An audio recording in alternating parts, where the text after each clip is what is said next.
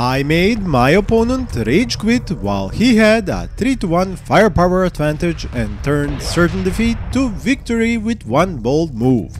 If you want to find out how, let me explain it from the top.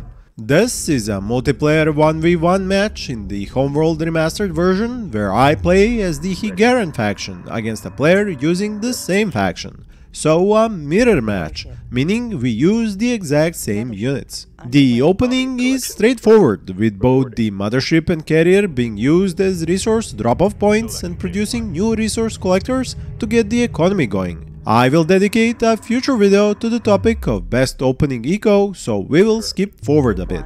I send my first wing of scout ships to check out my enemy and find his mothership alone with a bunch of resource collectors just like my own and a wing of interceptors. Next I send my scouts to the other resource patch to locate his carrier. Since I want to have some fun and gamble on the idea he won't mass produce interceptors, I start producing bombers and plan to send them to his mobile refineries and carrier to harass his resource harvesting operations. As expected, I find his operation at the next asteroid field and decide to use my newly researched EMP special attack to disable his mobile refinery. I lose my wing of scouts due to misclicking on the first pass and because the mobile refinery is armed. But the most important part of this attack is disrupting my enemy's concentration and forcing him to follow my lead, meaning to react to my attacks instead of planning out his. My own resource collection operation is left behind by my mothership and carrier in the hands of a few mobile refineries, and those two main ships move forward to the center, where I want to take over the resource-rich asteroids. Taking up this position in a team game is usually a bad idea because you're close for enemies to attack and far from your ally to support you. But in a 1v1 game, you can play aggressively like this, especially since less experienced players will focus on your new center map position and leave your other resource collection operations alone, meaning you do not have to spend resources on units to guard them. At this point, my capital class facility is ready on my mothership and I start building a second carrier. I need it because once I start constructing destroyers at my mothership, which takes a long time, I will need new production capacity for other types of ships. In the meantime, my interceptors reach the enemy's secondary resource collection operation, and just as I explained and expected, my opponent has a ready force of interceptors guarding it with even more on the way. I totally botched this engagement as I was planning my next moves, research options and ship construction, so it was a waste of resources for me once again, with only the bright side of keeping my opponent on guard and maybe messing up his plans for ships he wanted to construct in peace and quiet. The center position was left unoccupied and I started to mass ships at it by sending my scouts, bombers, torpedo frigates and resource collectors there. Unfortunately, this is when a mass of interceptors show up and blow my bombers to bits in seconds. I retaliate by using EMP with scouts to slow down this wave of interceptors, but I do not have the right tool for the job of dealing with a mass of them. This is why I start investing in flak frigate research and production, as well as gunship corvettes. Since my mothership is about to reach the center position, I also invest in a fire control center, so all ships near my mothership get a boost to their firepower. The torpedo frigates are hopelessly outmatched right now against the interceptors and I decide to at least use them to draw the enemy ships away from the center as he has not yet discovered that my mothership is almost there.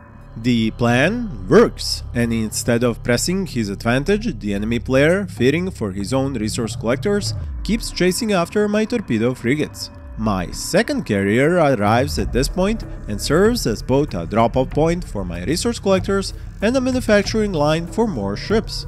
Instead of investing in destroyers as originally planned and even researched, I now use my mothership to produce those flak frigates and my carriers to produce gunship corvettes. Now the game starts to heat up as my enemy is back in force and I have very few ships to combat his wings of interceptors but just the sight and a few shots from the two flak frigates is enough to make him rethink his attack. My issue is that now he knows my mothership is at the center of the map and even worse, that I have no capital ships to defend it with. This is why I stop the production of flak frigates and start making destroyers at the mothership. Realistically speaking, I am behind on eco and military because I lost many more ships than I destroyed and I lost lots of time my opponent most likely spent building his own destroyers. And only a minute later, I know that I am right because my scout ship detects the first enemy destroyer, coming straight for my mothership, with a huge escort of interceptors and some torpedo frigates coming as well. Once again, I keep attacking his resource collecting operation with scouts and EMP attacks on the mobile refinery while thinking how to defend my mothership and carrier at the center. This time, I do the EMP attack correctly and back off, and with the long range sensors of my scouts, I can actually see my opponent pulling back his interceptors because of my sneaky EMP attack endangering his asteroid mining. I figure this is my opportunity to attack the lone destroyer and send my other scouts forward to EMP it. Unfortunately, the interceptors come back, probably because I didn't follow up my EMP attack on the mobile refinery with any bombers or anything and my scouts just get destroyed, achieving nothing more than being a nuisance. Luckily for me, I have many more. Knowing full well I'm outgunned and my first destroyer is just getting launched by my mothership, I start my attack run with everything I have despite that being all the wrong ships for attacking an enemy destroyer. The new scouts are used to MP everything in sight, managing to slow down both the response from his frigates and interceptors.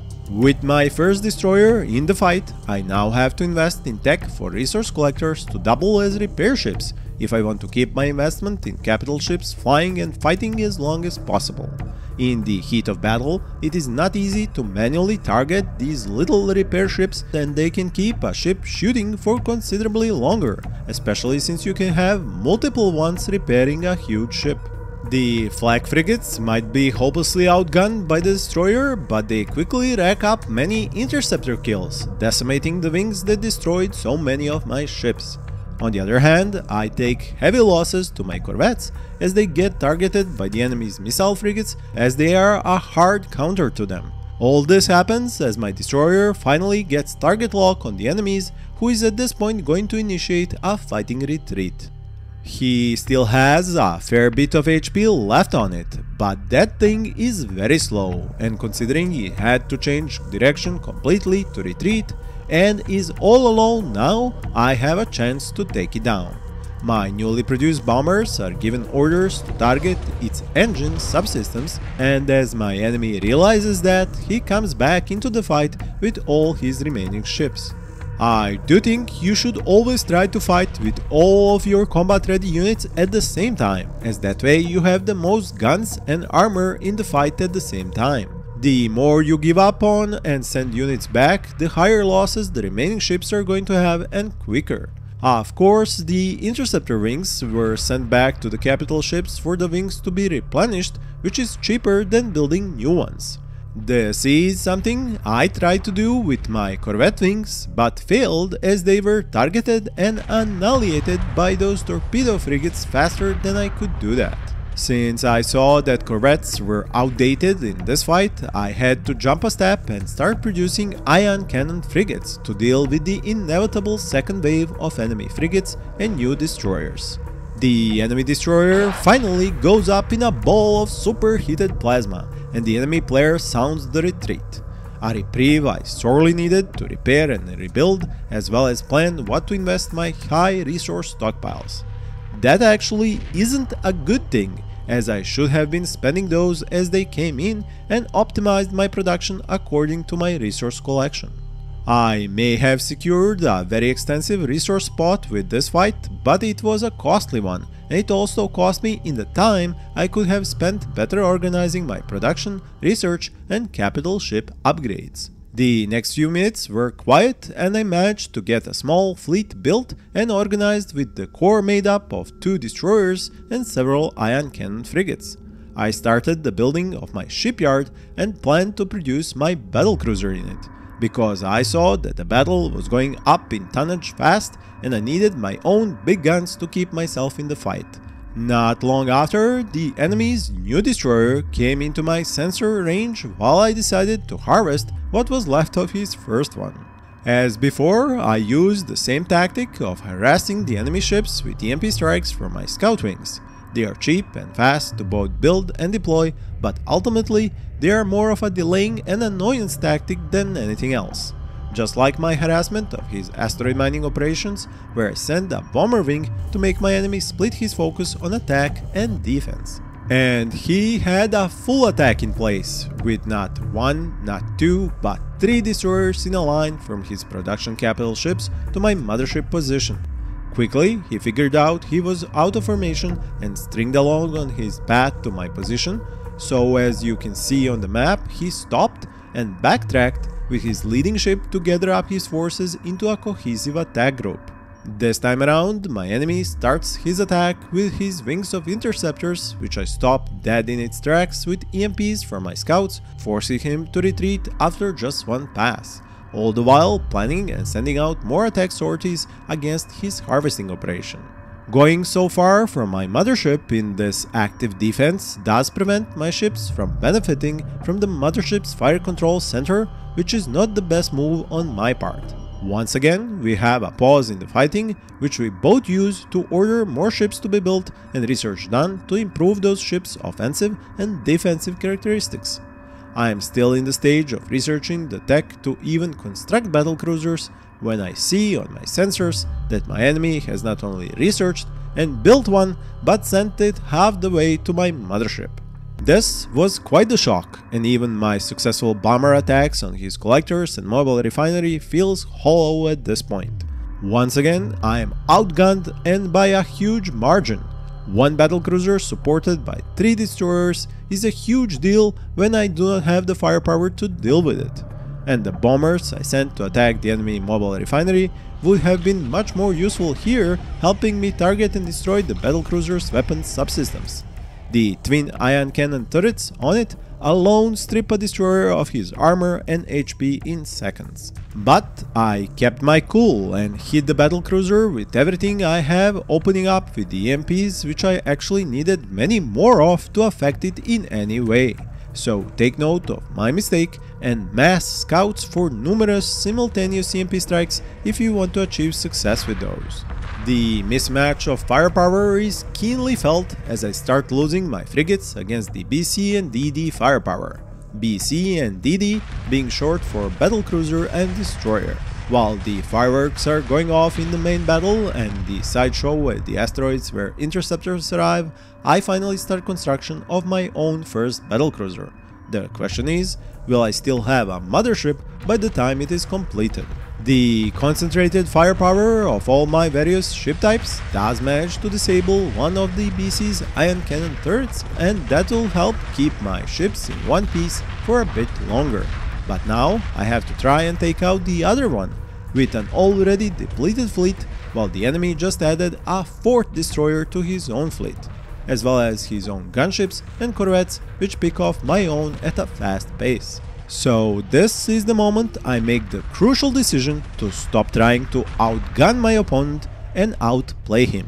Instead of constructing more ion cannon frigates for example, I invest my resources and production lines into marine frigates, the only ships capable of actually capturing enemy battlecruisers on the spot.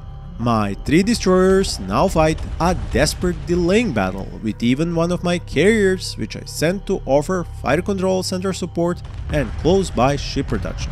Of course, soon after one of my destroyers is dust and another is close to becoming scrap too, while the third is already at half of its HP. To make a famous quote, Fleet this isn't going well. With the loss of my DDs, the carrier is left alone and an easy target. I am trying to rebuild, but with just 3 manufacturing lines for ships, and with the one at the shipyard busy with the BCs, which takes forever to build, it is a slow process. The carrier is already a pile of dust and resources added to what is left of the DDs and the enemy fleet is on its way to my mothership. Some might have surrendered at this point, but not me, as I had one last card to play. As I prepared for the final showdown, I add resource collectors to follow and repair the DDs while my own BC is finally coming out of the shipyard. A fire control center on it would be ideal, but with the proximity to my mothership at this point, also not exactly necessary. For the marine frigates, I have a special plan. I am keeping them above the plane of battle and well above the approaching enemy DDs and BC. So when the engagement range is reached, only the main ships of the line start to fight and my marine frigates stay out of the range of the enemy's cannons and missiles. And this is the moment when I spring my trap and roll the dice, with my opponent leaving his capital ships completely devoid of any escorts, I send in all my marine frigates to capture that battlecruiser. As they enter the sensor and weapons range of the enemy ships, they open fire on them, but I have upgraded them and they can take a punch or two while not only are they flying straight to the enemy ships, but the enemy ships are flying towards them as well. A speedy date is inevitable at this point with me losing only one marine frigate in the advance. And this is where the enemy player rage quits, despite his raw firepower advantage as he realizes his battlecruiser would become my own in a minute. And that, my fellow gamers, is that. I hope you learned a lot in this match, click the card for more such videos, thank you for watching and happy gaming.